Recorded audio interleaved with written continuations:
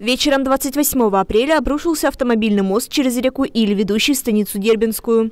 К счастью, никто не пострадал. На место чрезвычайной ситуации выехал глава района Андрей Дорошевский. Только нам стало известно об обрушении моста. Мы сюда выставили круглосуточную охрану, а- а- аварийно-спасательный отряд. Также здесь стоят а, патрули ДПС. Налажено у нас сообщение с противоположной стороной. Пути сообщения в настоящее время готовится пешеходный переход для людей.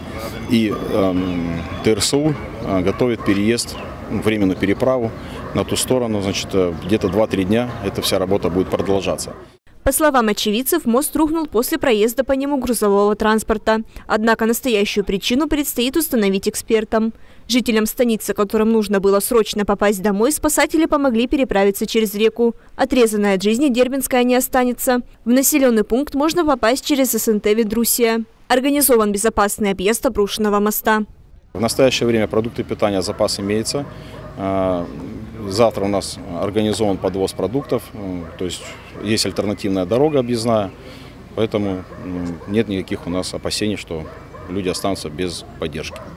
Здоровью граждан ничего не угрожает. Дело в том, что мы здесь выросли, мы знаем все переходы через речку и все проезды. Так что как бы большого такого, я считаю, нету. Именно для местных жителей. К счастью, никто не пострадал. У нас здесь дети играют всегда. Мы сами вот недавно с внуками приходили под мост, бросали камни. Введен режим чрезвычайная ситуация.